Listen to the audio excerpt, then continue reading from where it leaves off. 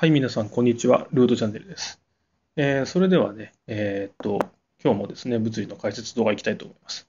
えー、前回に引き続き、今回もダークマターの話で、え今日はね、まあ、ダークマターが存在する証拠、まあ、後半の話をします。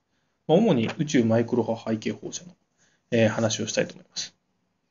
えっと、まあ、今日のね、えっと動画は、えっと、いつも通りの、ヒグスタンさんと、あとはその、ウィキペディアの図も使わせてもらっているので、あの概要欄にリンク書いてあります。はい。えっと、それではですね、えっと、またちょっと長くなるんですけども、書いていきます。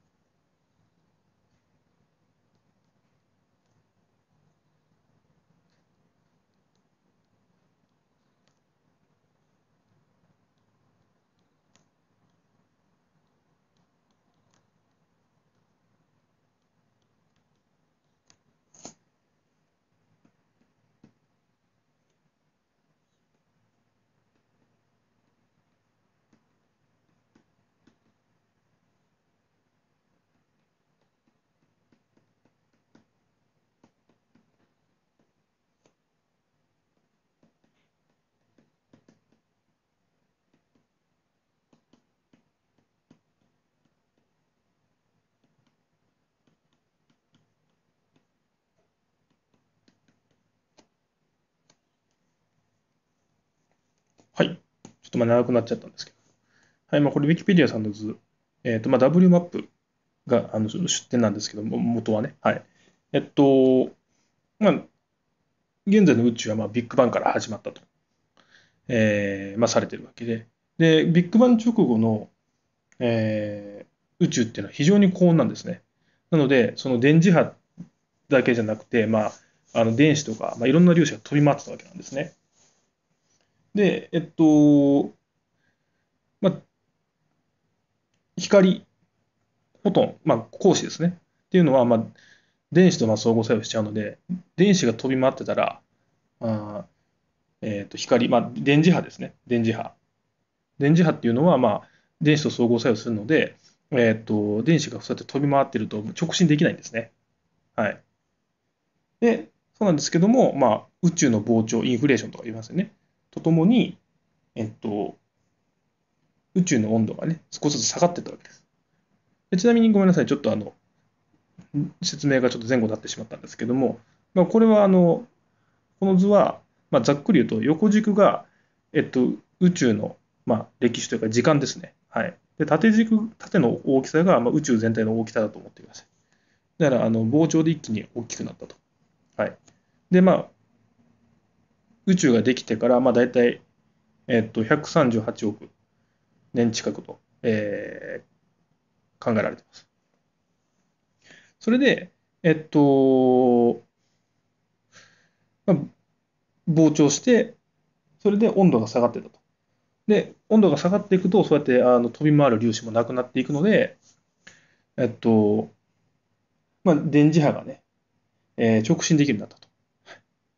その電磁波は、この宇宙最古に電磁波です。つまり宇宙最古の電磁波になって呼ばれるまあ理由なんですけども、その電磁波っていうの、その今飛んでる電磁波っていうのは、まあ、今もね、宇宙空間を満たし続けてます。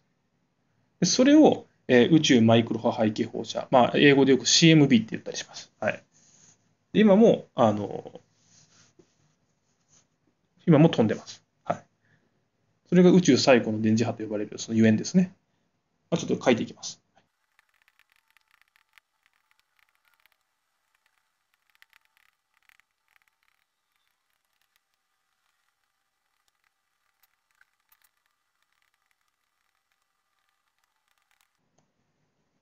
はい。まあ、長くなったんですけども、はい。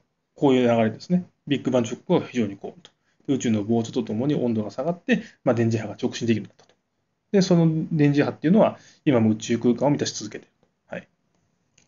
はい、それで、えっと、まあ、現在ですね、あの、もう観測されてるんですけども、まあ、宇宙の膨張とともに、まあ、この電磁波の波長が伸びて、えー、ですね、で、現在、まあ、観測している、まあ、その CMB の、えー、温度っていうのは、まあ、約2.7ケルビン。絶対温度ですね。えー、2.7ケルビン。で、えー、っと、で、今もね、あの、いろんなあ衛星とかで、えー、観測しています。で、その、まあ、図がこれなんですけども、はい。まあ、書いていきます。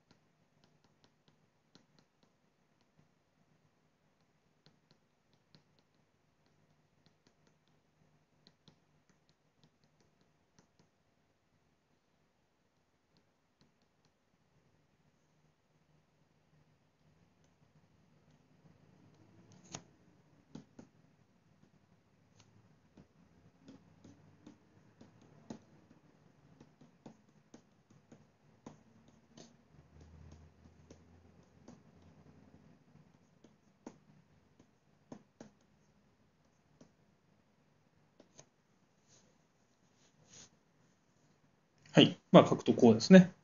で、ただし、この図、まあ、色がいろいろ違いますよね。ね、色が、色がちょっと違いますよね。で、これ何なのかというと、実はその温度の差なんですよ。で、まあ、実はその、細かく観測していくと、実は温度の、いろんなとこから電磁、いろんなところから電磁波が飛んでくるんですけども、えっと、実は、まあ、その温度と、電磁波のね、飛んでくる電磁波の温度に少しムラがあるんです。どれぐらいかっていうと、大体10万分の1度ぐらいの、えー、ムラがあると。で、そのムラがめちゃくちゃ大事なんです。書きますね。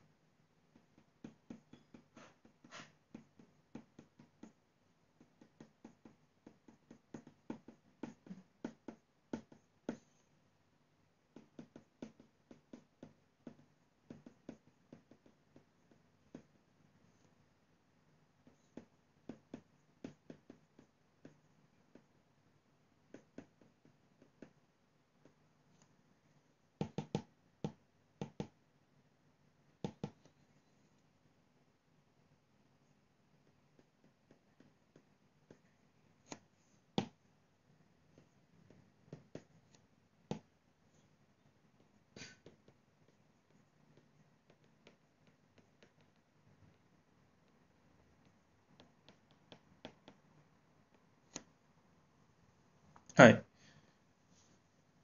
で、この村は一体何を示すのかって話なんですよ。これが何の意味をするのか、何を意味するのかっていうと、えっと、この村がですね、そのまま物質の集まりを示すんです。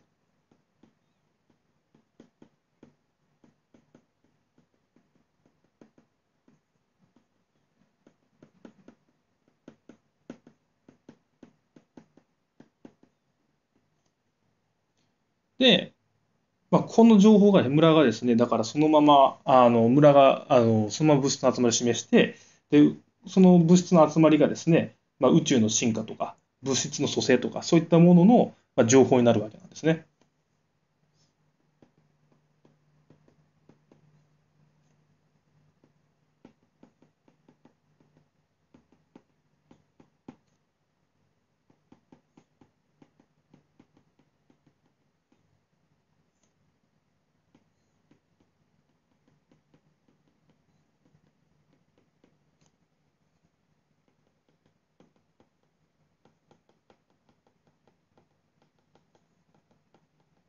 で、えっと、まあ、これまでの動画で、えっと、暗黒物質は、まあ、大体宇宙の大体4分の1ぐらいあると言ったんですけども、まあ、それは、まあ、例えばこの CMB の観測からあのの情報から分かっている、えー、ことです。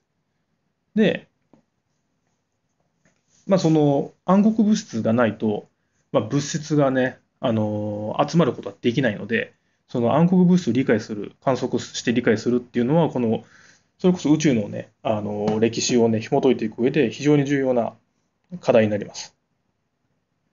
まあ、偉い人の言葉を使うと、まあ、暗黒物質って我々のお母さんと、ね、ないと集まれないので、物質が集ま集まることはできないので、はい。